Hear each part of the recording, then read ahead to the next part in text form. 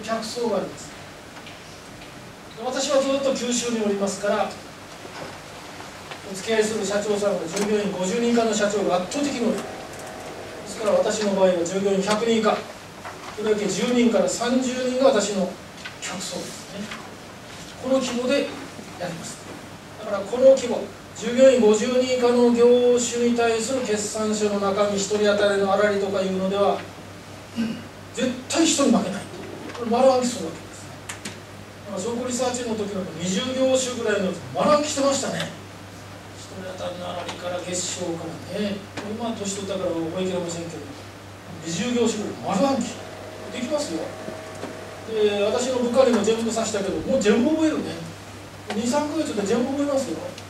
でも丸暗記したらもうパッと分かるね。社長さんと話でさっと合わせるでしょ。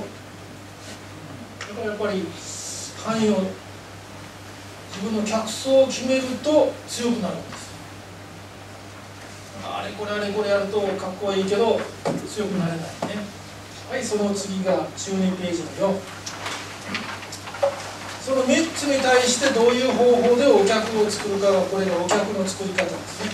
ですから、えー、先ほど言いました商品。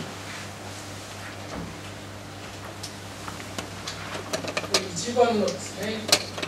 商品2番目の地域。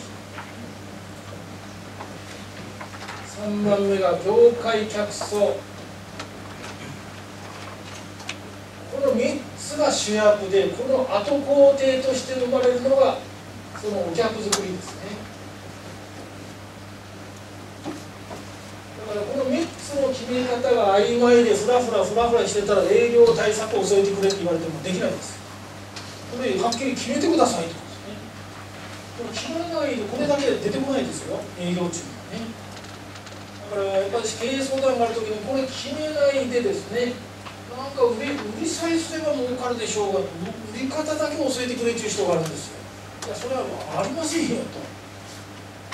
どの商品をどこの地域で誰の部かっていうの社長が信念として持てるようになって初めてそのお互いに話し合いができるんだこうねふらふらふらふらそのしてたら来るたんび話が変わったらできませんですねで一度作ったお客をどうやって維持するかお客対応ですねでここまでが通常言うところの、まあ、マーケティングですマーケティング。アメリカでいうマーケティングをこれですね。